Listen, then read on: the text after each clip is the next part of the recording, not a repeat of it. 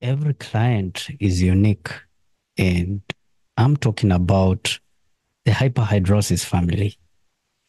We have people living with hyperhidrosis who they don't want to use clinical antiperspirants because of you know the fear of aluminum.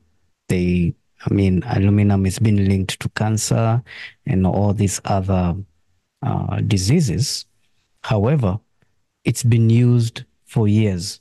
Even in your regular antiperspirants, aluminum is there. But the focus mostly is on uh, the clinical antiperspirants because of the active ingredient percentages. And I've always been adamant in explaining, you know, to the sweat family that once you understand the active ingredient percentage and the use, then you won't be moving around with this fear of antiperspirants because let's face it, at the end of the day, you have the option of level one treatment, which is the short term, short term treatment, sorry, the short term treatment of the use of clinical antiperspirants. And they are designed for you. They are designed to help you mitigate your sweat issues. So if you opt not to use antiperspirants or you listen to a to to you know a medical practitioner or someone online telling you if you have hyperhidrosis, just accept yourself. Yes, it really is important to accept your sweat issue. However, at the end of the day, you need solutions. And the solutions that are tailored for us are some of these clinical antiperspirants. However, the most imperative thing is to understand the active ingredient percentage. The active ingredient itself, understand your skin type. Are you sensitive to some of the, are you sensitive to aluminum chloride, the liquid, uh, in liquid form? If you're really uh, sensitive to aluminum chloride, then switch to aluminum sesquichlorohydrate, which is designed, antiperspirants in this case, which have that active ingredient, are the best for people with sensitive skin. The main purpose for this video is for individuals who don't want to use any of such and they're looking for a solution. It's tough. However, the easiest route will be to go the traditional way, and these are the home remedies. Look at what you have around your home at your disposal to use it for your underarm sweating. And one of the most common is um, the use of lemon uh, vinegar, the white vinegar, the same vinegar that is being used to clean your vegetables, because uh, kosher, you your vegetables with just running water, cleaning them with just running water is not enough. You're supposed to first clean with uh, with the running water from the tap, or you have it in your basin, and then you're supposed to, in equal ratio, unaosha na vinegar. So it's the same thing. Uh, in this case, you clean your underarms with white vinegar.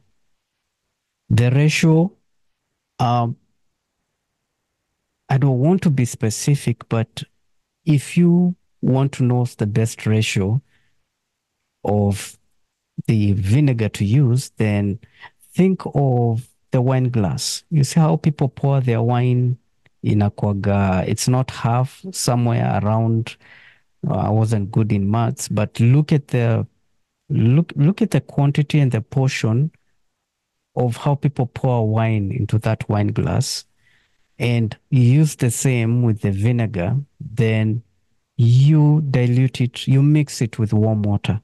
Then take a very light cloth or an equivalent of a face towel and you use that to clean your underarms. The next step is you take your lemon, slice it into two halves, and then you squeeze just a bit, just squeeze your your juice, your the lemon juice itself, uh, as a pop on top, and then take the lemon and rub it around your underarms. One half is for the uh, left underarm, and the other half is for the right underarm. And then um, application now, apply your baking soda. That is what you apply as your antiperspirant. You repeat that process, think every day, or maybe four days a week from Monday to Friday. If over the weekend you're not going anywhere, you're chilling at home, then you can just clean your underarms with uh, with the vinegar and just chill. You know. However, if you're out on Saturdays and on Sunday, I know you have to go to church, then you have to repeat the process. Have to clean your underarms with the vinegar and then you use your lemon. Apply first the lemon to your underarms and then you use your baking soda. This is just my own opinion. Uh, you don't have to take my word for it. However, I encourage you to go online. There are different sources, different um, people speaking about uh, using lemon and baking soda as an alternative for you know clinical antiperspirants since they might lead to cancer and other diseases. And here at HAK, we value people's opinions. We are not end all be all that you're supposed to just follow everything that we tell you because to the T because that is how it's supposed to be. No, but you know, as HAK, we want to give you a plethora of options for you to decide what's best for you. In as much as we have individuals who use antiperspirants, there are those who don't. And, you know, besides the home remedies, the best solution will be iontophoresis machine. And it only requires tap water, which we are going to discuss in, an, uh, in another video of the benefits of long-term treatment, which is iontophoresis machine.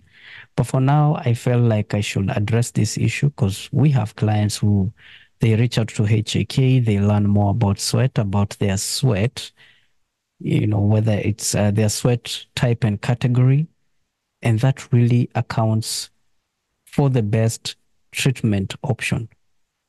And once they realize that their sweat is more primary, then the level one treatment, which is a short term treatment, the best treatment to initialize, which is the use of clinical antiperspirants, they tend to um, be very, very uh, cautious about it because of you know the the myths or whatever they read online about aluminum. And the best solution would be to go through the traditional way the you know, the home remedy, or they go for aluminum free topical applications. But and here is where I have an issue because you're applying an antiperspirant that doesn't have aluminum. So what's inside? What is the active ingredient? Since aluminum, it's not there. It's aluminum free, but what are the active ingredient percentage? You see, for me personally, I would rather use aluminum because I know these are aluminum salts which are designed to manage excessive sweating. And even for normal acclimated persons, the Niveas of the world, the Rexona, those regular antiperspirants, they do have aluminum as the active ingredient percent, uh, active ingredient. The percentage may be lower. Maybe we're talking of four or eight, but mostly I think it's quite low still the active ingredient. However, like I said, we respect people's opinion. And as HAK, we are not end all be all. We are here to listen. We are here to support you in your sweat journey.